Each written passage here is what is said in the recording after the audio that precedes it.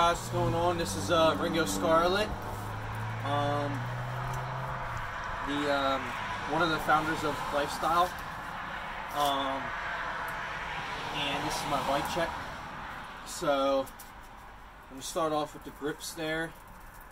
Zoom in on those. Those are the 25.9 Ronin grips.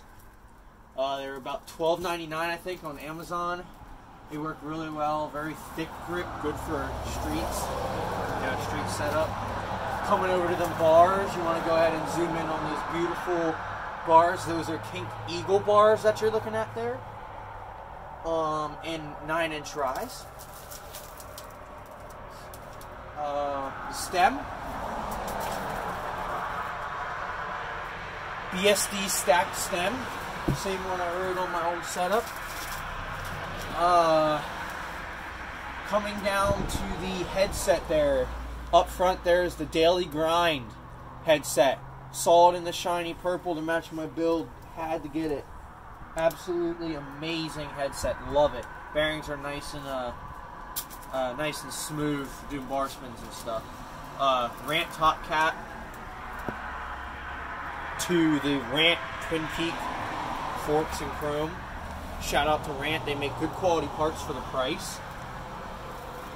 Uh, another shout out to Mission, front and back tires in purple. Love them. These are the tracker tires. Once again, they match my build. Up front here at the Rant uh, squad, that is the Party on V2 laced with a Rant Party on V2 front uh, hub there. Female hub with the Rant uh, Super Cool front hub guards. Love them. Laced with some black Source BMX titanium spokes. Over to the pegs. These are the Rant Cool pegs plastic. Um, front and back, love plastic pedals. They slide so much better than chromo. Rode chromo in the past, didn't really care for it that much. I run two just on my grind side. Uh, don't really like the added weight with all four. Um, the bike weighs right now probably about 25 pounds as is. Um, the pedals here, Federal pedals. They grip very good. Good pedals. Cranks. Probably one of my most favorite parts. These are the Mission Transit cranks. Shout out to them. Very good cranks. To uh, the Mission Nexus, I believe, This is the sprocket. Yep, right there, Mission Nexus. In purple.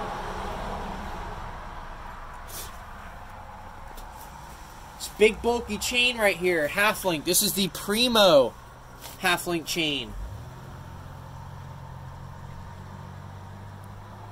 Now, onto the back. This is a little different setup. It's a Colony Pintour wheel with the Wasp hub, and I switched these out with some Source BMX titanium spokes as well. Um, and you know that's uh that's basically it. Your seat, grab out the seat, Subrosa, just Subrosa one piece seat, uh, and a um, Mafia bikes, 19 millimeter bottom bracket with the chrome uh, spacer over here to match. It looks super cool, and the um, spindle is titanium as well, profile. So um, I mean that's it.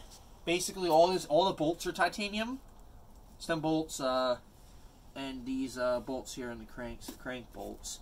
Uh, even got these cool dice, super cool dice in the uh, in the wheels. Um, and last of all, most important thing on the bike, I switched it up. I went with the Fit Bike Co. shortcut frame. Saved the best part of the bike for last. This frame, guys, it is absolutely amazing. Short back end uh, helps me with manuals and wheelies, stuff like that. Um, guys, I can't recommend this frame enough. Go buy it right now. I got it for 223.30 or 2 223.99. With the tax, it was came to like about 237, something like that. With the tax included, the absolute best part, most important part of a bike is the frame, and I think I made a good choice going with the fit shortcut. But uh, that's going to do it for the video. Be sure to leave a like, comment, and subscribe. Um, we will be uh, staying up by itself. We will be uh, doing more stuff to Vincent's bike, getting a bike check of that. Um, and so, yeah, I think we covered everything. Uh, guess the bar ends, they're, they're just off of Amazon. Uh, not really too happy with them as they are coming out and they're loose. But um, yeah, guys, that's the whole bike.